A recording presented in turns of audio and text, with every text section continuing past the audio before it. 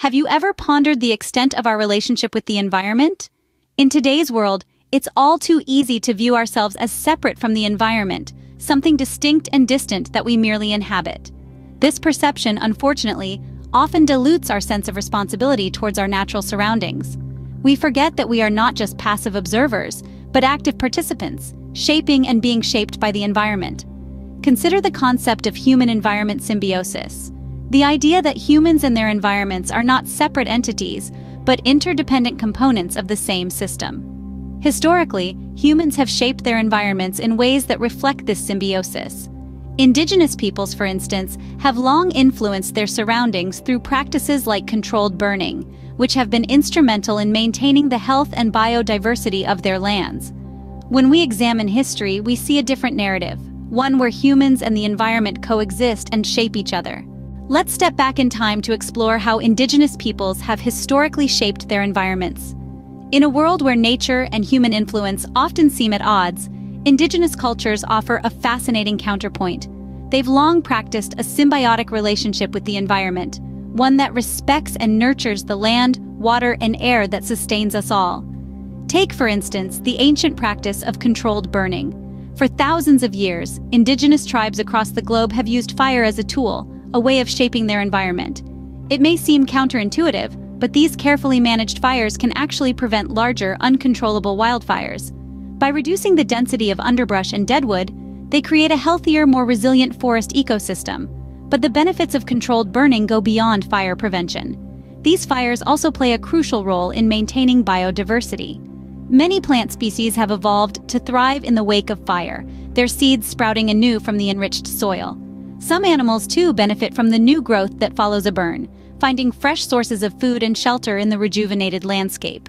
In this way, indigenous peoples have long understood something that modern societies are only now beginning to grasp, that humans can not only live in harmony with nature, but actively contribute to its health and vitality. This isn't just about preserving the past, it's about shaping the future. Today, indigenous tribes are collaborating with organizations like the Forest Service to reintroduce controlled burning practices. This collaboration is about more than land management. It's about restoring a lost connection, a sense of belonging to the land that nurtures us. It's about recognizing that the environment isn't something separate from us, but a part of us. It's about understanding that our actions have consequences, and that we have a responsibility to make those consequences positive. So let's take a leaf out of the Indigenous Peoples book and strive to shape our environment in a way that benefits us all. Because when we care for the earth, it cares for us in return.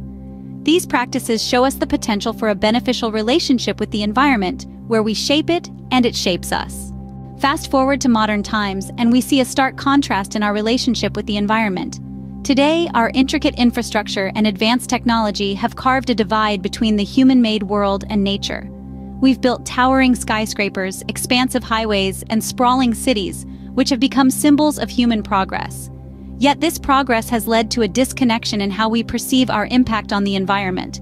We've become so focused on our human-made world that we often overlook the fact that our actions, particularly in affluent nations, are leading to significant environmental degradation. From industries prioritizing profit over sustainability to suppression of natural processes, our modern lifestyle is wreaking havoc on the environment. This has given rise to a myriad of environmental issues like pollution, deforestation, and climate change. Sadly, this disconnect has led to widespread environmental issues that disproportionately affect marginalized communities. We must remember our actions today will shape the world of tomorrow. So, how do we bridge this disconnect and foster a beneficial relationship with the environment? Well, the answer lies in understanding, respect, and adopting sustainable practices.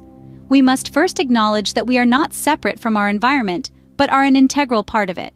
Our actions, whether they are positive or negative, have a profound impact on the world around us.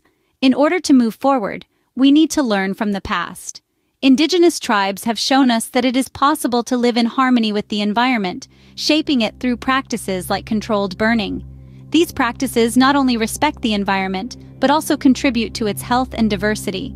Imagine the potential for collaboration between these tribes and organizations like the Forest Service. By working together, we can reintroduce these beneficial practices on a wider scale, restoring and preserving our land in the process. By learning from the past and applying these lessons to the present, we can foster a symbiotic relationship with the environment that benefits us all.